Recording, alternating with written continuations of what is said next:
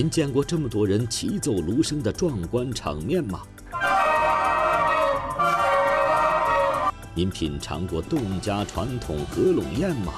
这边的菜特别的新鲜。小芦笙与大城市相逢，又将碰撞出怎样的火花？那些明星的也跟我们侗家姑娘啊、小伙子啊，都是一起在那里拍照而已。敬请收看《田园乡村侗族芦笙奏响乡村旅游曲》。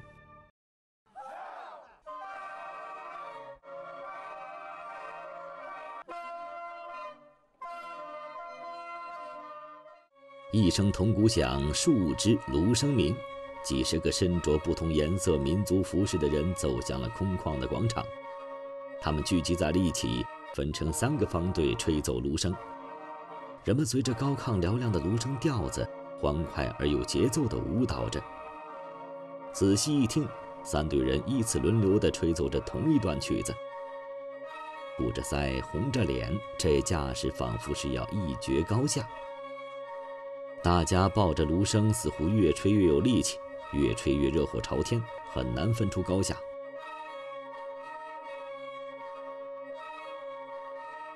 眼前的这一幕幕热闹景象，来自于湖南省怀化市通道县的黄都村。这些人身穿的是侗族的民族服饰，他们正在表演的是赛芦笙。芦笙从古老的簧管乐器发展而来。至今约有两千多年历史。与代表着北方汉族文化的笙相比，芦笙代表了南方的少数民族文化。芦笙的筒身及吹管均由主管构成，一筒一音，有八音、六音、三音之分。它的声音大而清晰，节奏明快而动听，具有浓郁的地方特色。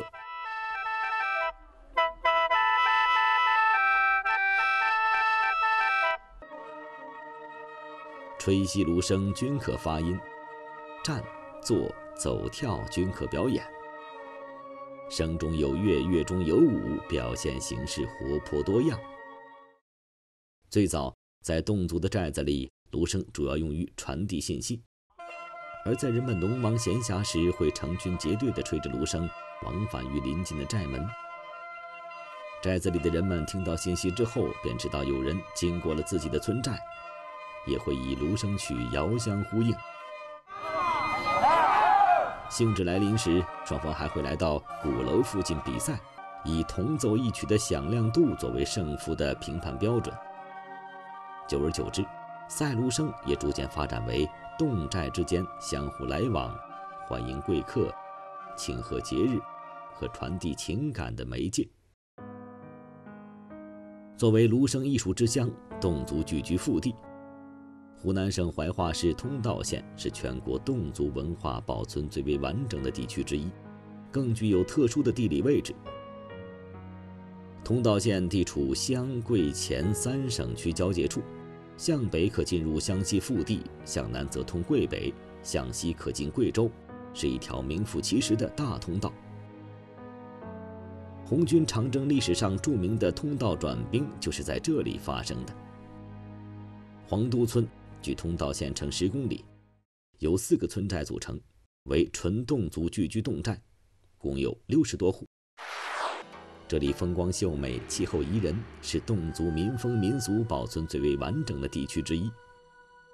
传说，古夜兰国国王路过此地，被其独特的民族风情所迷恋，许诺在此建都，皇都则由此得名。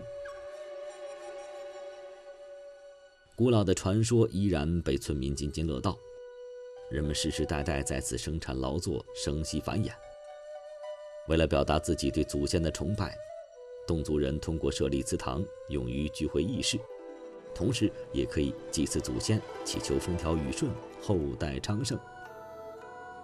古往今来，不论是房屋、桥梁、鼓楼还是寨门，都是由村中群众集资修建。由侗族能工巧匠亲自设计施工，特别是鼓楼、寨门和普修桥的建造。鼓楼侗语名称叫“堂瓦”，是侗族人日常生活的社交中心，也是全村村民集体活动的地点。在侗族流传着“没有鼓楼不成寨”的说法。鼓楼建造工艺精湛，造型古朴精美，完全为木质结构。这种内部层层梁柱支撑，外部呈斗拱造型的独特塔式建筑，历经数百年不朽不谐。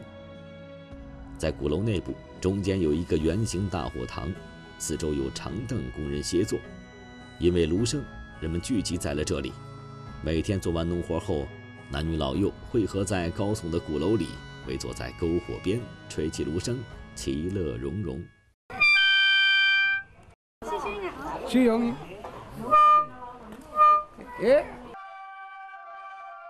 就是这样的耳濡目染，让一代又一代的侗族孩童深受芦笙文化的熏陶，在日复一日的寻常生活中，芦笙一代代的传承了下来。成为了侗族人心中挥之不去的情节。我们小的时候，长辈老年人的，或是年年轻人在在鼓楼吹吹芦笙，我们儿童的时候就听惯了，听惯听多了，自然会。上个世纪七十年代，十几个黄都村村民因兴趣爱好聚集在了一起，他们自发的走村串寨，进行露天的公益表演。在当地可谓小有名气。到了一九九五年，一次配合公演庆典排练的契机，让这些芦笙爱好者们正式成立了艺术团。欧顺书是当时艺术团的主要负责人，在他和吴尚德等文艺骨干的号召下，艺术团结合黄都村的民族文化特色，利用现有的人员和资源，编排了许多贴地气儿的文艺节目。根据本地的人才资源，他的水平当然有有高一点的，有低一点的，有向外学习的，有自创自编自编的。以务农为主的年轻人放下锄头后，来到了艺术团参加集中培训，通过不定期外单位的演出邀请，象征性的可以赚取一些收入。那时候就开始啊，是不是在收费了吗？收费了以后就就有就有报酬了嘛？以前是没有报酬。从艺术团成立没几年的时间，当时的中国市场经济进入了快速发展时期，而农村外出务工浪潮也已经开始。于是，背靠大山、经济落后的黄都村村民纷纷放下手中的芦笙，远走他乡谋生就业。一时间，很多人退出了艺术团。主要是自己还觉得自己年轻，想出去闯一下，看一看外面的世界，而且。艺术团里面的报酬也不是很高，在艺术团演出的报酬并不丰厚，成员的积极性自然越来越低。此外，自从成立的艺术团，培训、组织、排练、管理等就需要有人负责，运营成本也大大增加。就这样，艺术团很快陷入了一筹莫展的困境。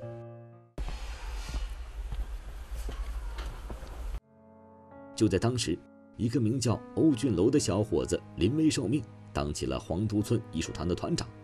他和我们回忆起当年艺术团无人可用的窘况。有时候少的时候，上台表演的最少的，我记到只有六个人上台。面对这样的情景，很多人劝欧俊楼放弃艺术团，但欧俊楼心中不忍，为了留住演员。他不辞辛苦地在村寨里往来奔走着，竭力劝说着。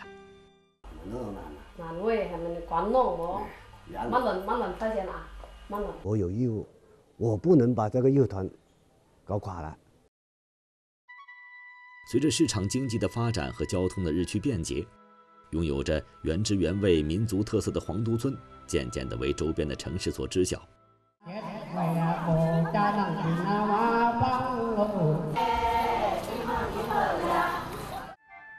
来到黄都村，游客不光想要一睹民族建筑的风采，看芦笙表演也是他们行程的重要部分。为了吸引更多游客，黄都村艺术团在本村组织了定期的芦笙歌舞演出。到时间了，就跟那些客人呢表演几个节目，他以这样形式来吸引游客。朴实的民族风情加之精彩的芦笙表演。为黄都村带来了一定的知名度。到二零零零年初，慕名而来的游客渐渐增多。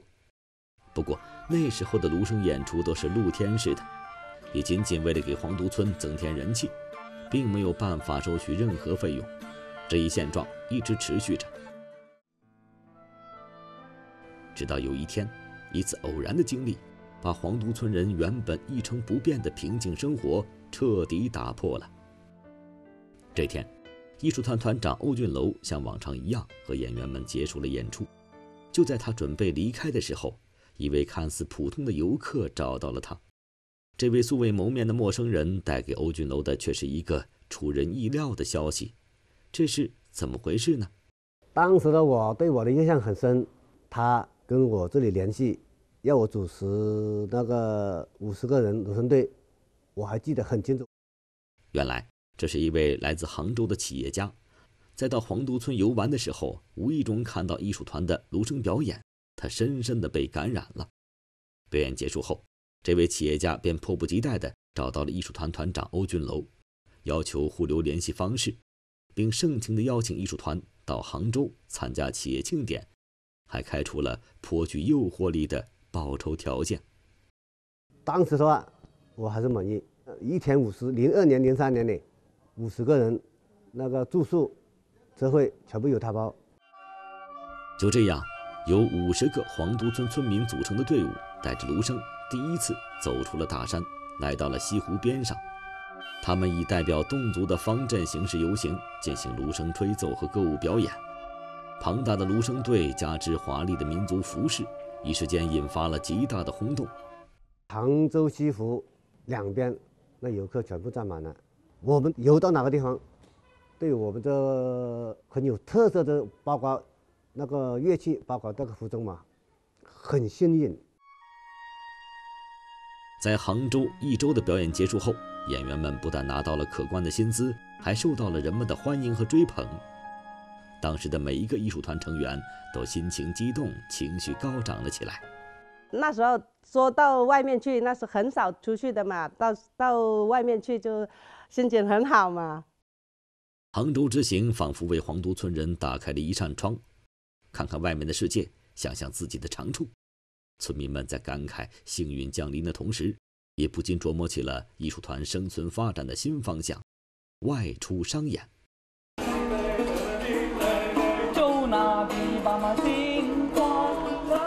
艺术团成员很快意识到，和杭州商演有相似需求的企业还有很多。他们开始主动关注起了相关动态，并积极地与外界接触联系，希望将杭州商演的成功模式继续复制下去。像。有一次到张家界，我们去那里一个月，就是在那个宾馆大门迎宾，表演一些小节目。针对外出商演，艺术团将表演的组织形式进行调整，将人员分成了几个组队，根据商演的时间轮流上台演出。这样既保证了每组演员的精神状态，也使得演出的安排更加紧密、灵活和高效。当时嘛，我们是两个队。就是这个月 A 队，下个月就是 B 队。对小村寨人习以为常的芦笙歌舞，在外地人看来却是难得一见的稀罕事儿。加之游客们的口耳相传，艺术团的外出商演做得越来越火了。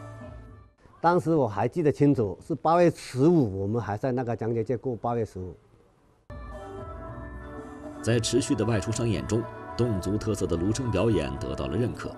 随着收入的增加，演员们也收获了更多的自信，很多老乡们也积极自愿地加入进来，艺术团的队伍不断壮大。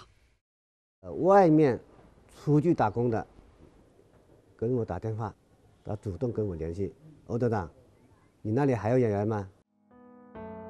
然而，就在众人都对外出商演抱以极大的乐观时，面对红红火火的商演邀约，艺术团却不再出去了。外出商演机会难得，又做得顺风顺水。其实并不是团长欧俊楼不接受外出商演的邀约，而是老乡们不愿意出去了。难道是外面不赚钱？那是什么原因让他们的选择发生了如此大的改变？很重要的才可以出去。原来，随着黄都村芦笙表演知名度的扩大，艺术团的外出商演邀约。非但没有中断，反而越来越多。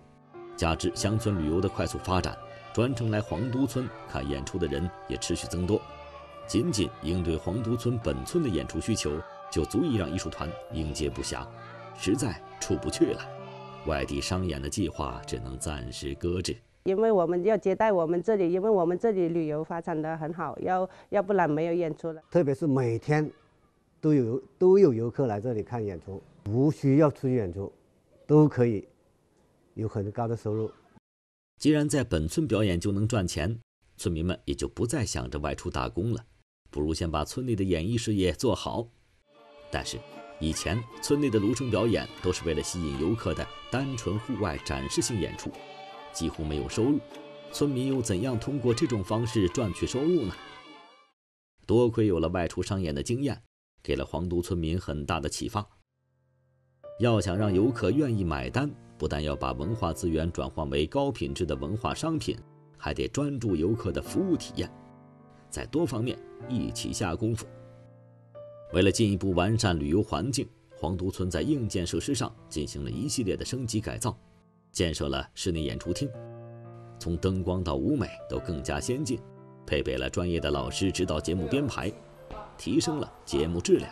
一、二、三、四、五、六、七、八、二、二、三、四。看着这样子，通路质量搞得很好，所以这个地方比较适宜来旅游一下、看一下。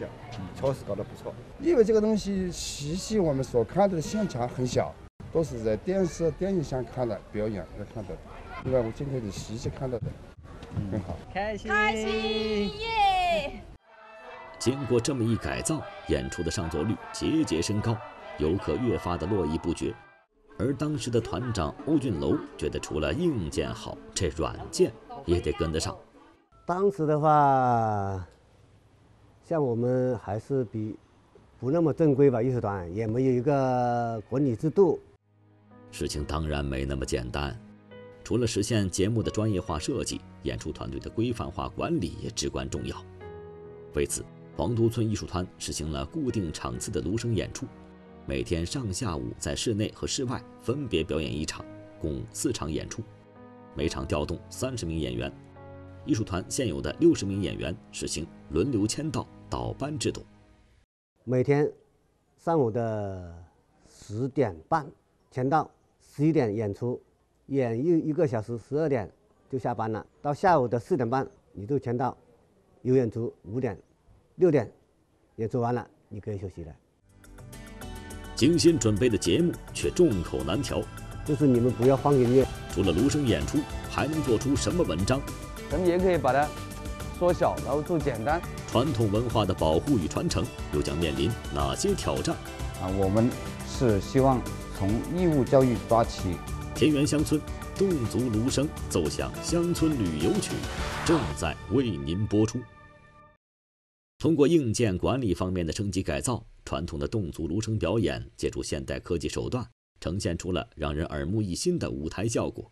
但在游客这边却有了反对的声音。像你们是，呃，原生态的，越原始的越好。他有的说，你们根本不要放。像他个人的意见，就是你们不要放音乐，就是你拿你们自己的乐器来伴奏原始的现场伴奏、现场表演，这样效果更好。在欧军楼的概念里，设计现代化舞台效果的初衷是为了把侗族歌舞变成一道丰盛的文化大餐。对于这种表现形式，大部分游客的反馈都是认可的。不过，这些个别的反对声音出现，的确也为欧俊楼提了个醒：游客为什么要来这里？游客到底想要获得怎样的体验？站在游客的角度上仔细一想，其实不难理解。远道而来的游客大部分来自于大城市，他们更希望看到的是难得一见的原生态文化。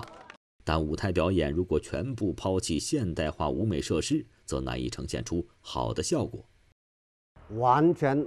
不用音乐，这个也不现实。像偶尔又一两个节目，像原始的，这样也还是可以的。你完全不用音乐，你气氛就不好。但是他出的，他提出的意见也对。为了兼顾游客的意见，又能很好的带动气氛，艺术团最终找到了一个平衡点。中间参与那么一两个节目原生态的，不用伴奏，综合一下。再一个，参与性的，让游客参与的节目要多几个。不过，游客来到黄都村可不光是为了观赏侗族建筑、感受自然美景，或是看芦笙表演，品尝民族美食也是他们必不可少的体验项目。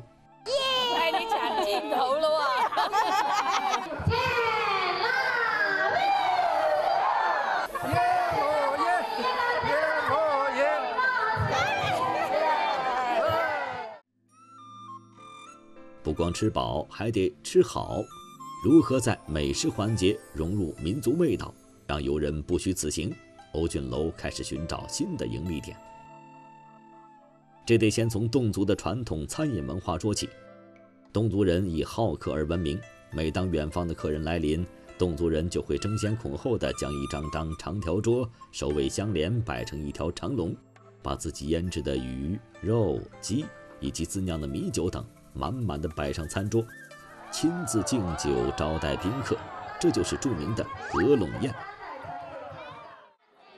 合拢宴，侗族姑娘热情洋溢的敬酒表演成为其中的重要环节。前来观光的游客只需支付门票，便可以享受到这样难得一见的高规格盛宴。报价是一百六十八，就是现在有个一般都是一百的多。合拢宴就是。呃，按人头含酒水，含敬酒。按人收费的芦笙演出和合拢宴，不但为黄都村带来了不小的人气，也成为了村民收入的主要来源。就固定工资就一千三一个月，每个月六十天，一场演出二十五，一千五就两千八，不算加长，加长的话，那就又是算提成。除了每天固定演出的时间外，村民们还能利用空闲的功夫搞搞副业，上山干干农活，种些树苗，既不会荒废了田地，又能额外的增加一份收入。吴尚德一家人的经历，正是印证了这种在家门口赚钱方式的可取之处。曾经在很长的时间里，一直生活在黄都村的吴尚德和老伴儿相依为命，儿子吴立广和媳妇欧月娟长期在上海打工。从事的也是在民族餐厅里的歌舞演出，小孩跟着老人在寨子里生活，一年到头一家人很难聚在一起。这两年艺术团的壮大和优厚待遇让两位年轻人动了心，他们决定放弃在外打工的生活，回到黄都村继续从事擅长的芦笙歌舞表演。毕竟是现在有两个儿子啊，然后还有家里有父母都年纪那么大了，所以。还是觉得回来发展好点，而且现在我们村里面呃旅游业开发的比较好，所以说呃现在家里的这个工资跟外面的工资其实也差不了好多。像吴立广和欧月娟这样从外面回来的人还有很多，在团长欧俊楼看来，当小村庄与大城市的收入不相上下时，返乡工作的优势就是近水楼台先得月。个人将近六七六七千块钱的收入，那你肯定消费还要高啊。随着乡村旅游的持续快速发展，更多的本地村民从外面回来，加入到了艺术团来，一把把侗族芦笙做成了远近闻名的文化产业。而有的人又在芦笙上继续做起了文章，比如有这么一位艺术团成员，他不光在室内舞台上吹芦笙，还在自己的店铺里吹起了芦笙。像这一种大芦笙，都是用在芦笙赛芦笙啊，或者是我们去走村串寨的芦笙。店主名叫吴阳波，也是艺术团成员。如今，边在艺术团工作的他，又开起了芦笙礼品店。走进他家的店子里，能看到大大小小陈列悬挂着的芦笙，大到和舞台演出所用的一样，小到一手就可以全部握住。然后真正这种小芦笋才是呃工艺品芦笋，也就是说可以是呃量比较大的销量是吧？普遍能让我们游客能接受的芦笋。照着吴阳波的说法，大芦笙主要是用作展示，在店里时不时的吹吹，吸引更多的游人；而微缩的小芦笙是他专门找人制作的工艺品，也就是专门用来售卖的旅游商品。这是最简单的，这个就是里面可以发一个音，小朋友吹的，永远一个音，是吧？这是最简单的，也是最便宜的。然后这边将近，也就是三四十块钱吧。虽然不如大芦笙专业，但做工精致的小芦笙一样可以吹出声音。将芦笙做成缩小版的工艺品，给小朋友玩，或是作为伴手礼，这个主意是怎么想出来的呢？广东那边一个爱好者吧，他是看了我们演出，然后觉得哎，这个芦笙有特色，然后呢，演出完了之后到到我这个店子，我要跟他介绍，是吧？一个芦笙是我们侗族的原来目睹了很多游客对于了解芦笙文化、学习芦笙吹奏的诉求时，吴阳波敏锐地感到。这是个不错的商机，他开始联想到他在外商演经历中曾经见过其他景区将竹笛做成旅游纪念品的事。他想，这种礼品营销模式是不是可以复制到侗族芦笙上呢？然后后面我也想想，哎，咱们侗族也有乐器啊，咱们也可以把它缩小，然后做简单，把这个呃价格把它降低，是吧？作为旅游旅游商品来卖。就这样。吴阳波请寨子里会做芦笙的师傅，运用竹子和簧片手工做起了芦笙。很快，芦笙礼品店开业了。小芦笙的售卖并不局限于街边的店铺。针对室内舞台的侗族婚俗的表演环节，吴阳波提出了一个想法：把最后新郎新娘互赠的定情信物设定成小芦笙。这样做又意义何在呢？这一环节的设定可谓是用心良苦，既可以让游客在感受侗族民俗文化的同时，加深芦笙这一代表性符号的印象，也进一步促进了芦笙礼品的推广。渐渐的，寨子里的礼品店越开越多，礼品种类也更为丰富。行走在黄都村寨中，除了古朴的侗家建筑，细心的游客还能发现。道路的两边安装了芦笙造型的路灯，这些路灯别致精巧，颇为逼真，充满浓浓的侗族韵味儿，像是侗家儿女盛装排队吹着芦笙迎接远方的客人。这无疑为黄都村在传承和发扬古朴民风的同时，又融入了几分时代变化的新元素。在游客眼中，原生态的建筑、音乐、文化的确。越来越难得一见，这也是以芦笙为代表的侗族文化价值所在。而在社会经济快速发展的今天，对于黄都村本村村民来讲，他们正在思考的是如何将自己的传统文化保留下来，代代传承。我们也是啊，花了很多时间，收集了各方面资料，编写了一本比较适合。我们小学生来教学的这一本课程，从鼓楼里的从小熏陶到教室中开设专门的课程，黄都村从义务教育阶段开始就将侗文化引进了校园。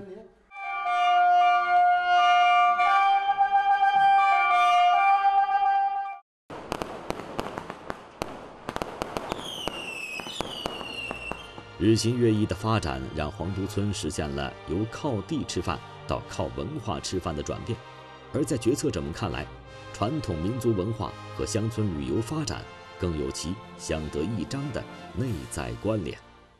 我们积极鼓励侗族文化艺术团参与旅游开发，让他们成为旅游开发的参与者、推动者和受益者。这不仅推动乡村旅游的发展，同时又繁荣和发展了民间艺术。传承、弘扬了侗族文化，二者相辅相成，相得益彰。Thank you.